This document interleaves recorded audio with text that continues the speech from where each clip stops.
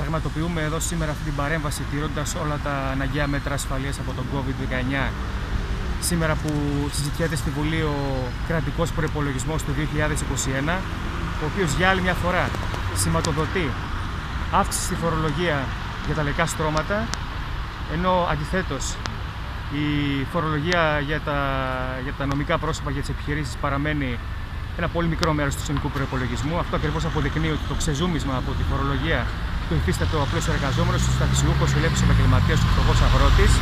Και για άλλη μια φορά, οι δαπάνες για τις λαϊκές ανάγκες είναι μειωμένες. Είναι για παράδειγμα μειωμένα κατά 570 εκατομμύρια τα κονδύλια για το Υπουργείο Υγείας και όλα αυτά εν μέσω πανδημίας. Πράγμα που αποδεικνύει πόσο ενδιαφέρεται η κυβέρνηση για την ε, υγεία του κόσμου εν μέσω πανδημίας, το τονίζω ξανά. Είναι με μένα τα κονδύλια για τους ανέργους, είναι με μένα τα κονδύλια για τις συντάξεις και γενικά για την κάλυψη των λαϊκών αναγκών. Στον αντίποδα, ε, πλουσιοπάροχε ε, είναι οι επιδοτήσεις προς τους επιχειρηματικούς ομίλους, είτε από κρατικά έσοδα είτε από ευρωπαϊκά προγράμματα.